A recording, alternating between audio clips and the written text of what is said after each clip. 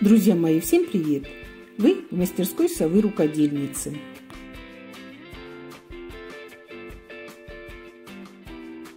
Сегодня мне необходимо быстро сшить сумку для вот этого одеяла. Обычно я отдаю заказчику одеяло в пакете, которые покупаю в магазинах, где продаются большие пакеты. Но сейчас у меня пакета не оказалось, а ехать в магазин нет времени, и я решила шить сумку для одеяла.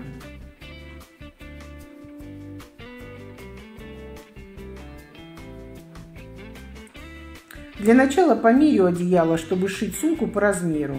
Ширина сумки будет 65 сантиметров, высота 45. Сумку буду шить из спант-бонда это такой материал, которым обычно укрывают растения, но продается он в строительных магазинах. Я вырезала прямоугольник из пантбонда.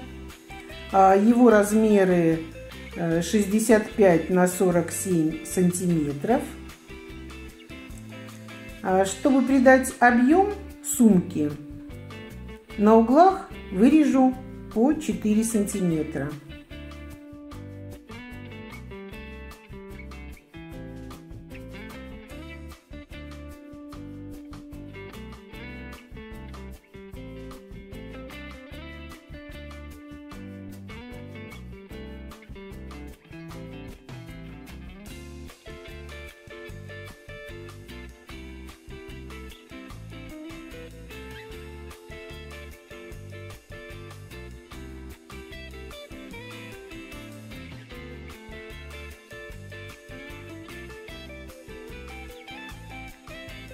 Поскольку спандбонд не сыпется, да и сумка такая одноразовая, то обметывать срезы я не буду и стачивать буду следующим образом.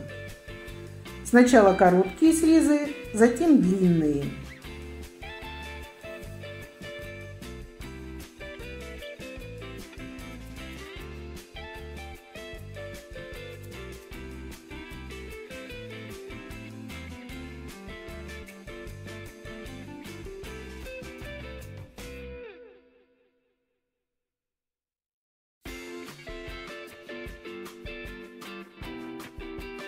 Теперь нужно зашить уголки. Швы совмещаю и направляю в разные стороны.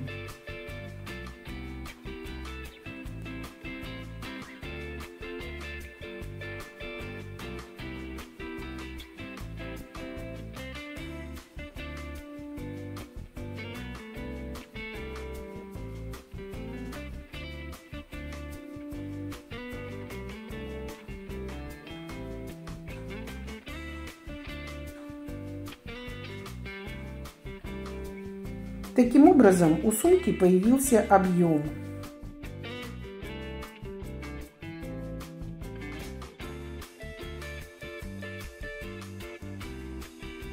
Теперь буду выкраивать ручки для сумки. У меня от ширины остался кусочек спандбонда, а, длина его 47 сантиметров.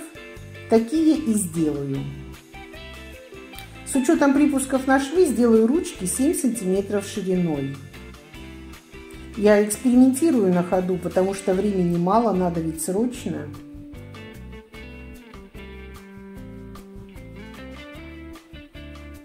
Загибаю срезы внутрь и прострачиваю.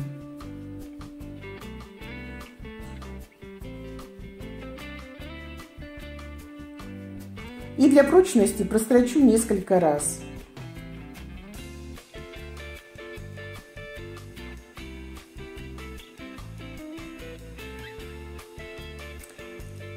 Нахожу на сумке середину.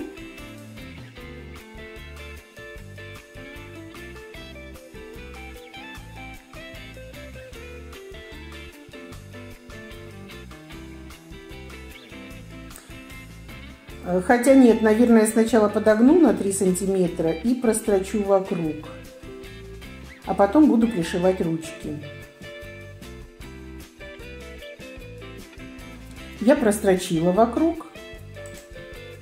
А, и сейчас на равном расстоянии от середины нужно закрепить ручку.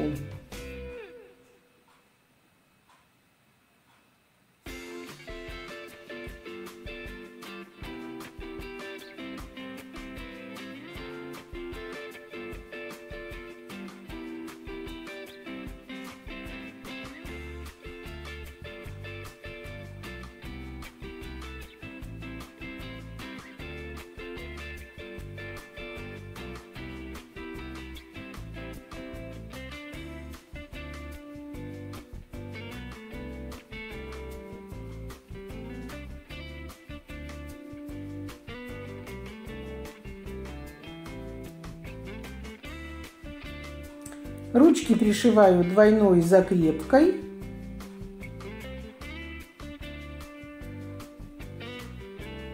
И пройдусь еще крест-накрест для прочности.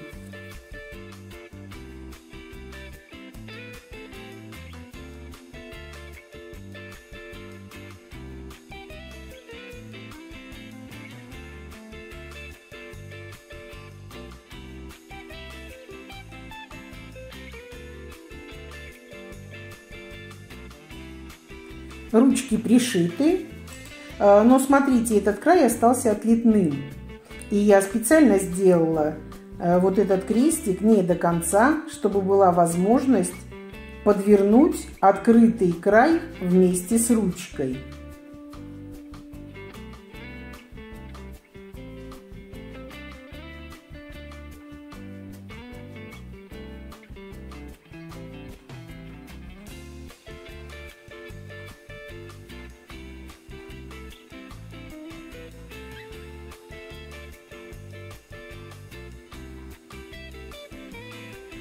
Моя сумка готова. Точно так же можно сшить сумку для покупок, если сшить ее из более качественной ткани, из любой плащевки или плотного хлопка, например. Эту же сумку я сшила для одеяла. И сейчас не стыдно будет отдать заказчику одеяло не просто в пакете, а в такой сумочке.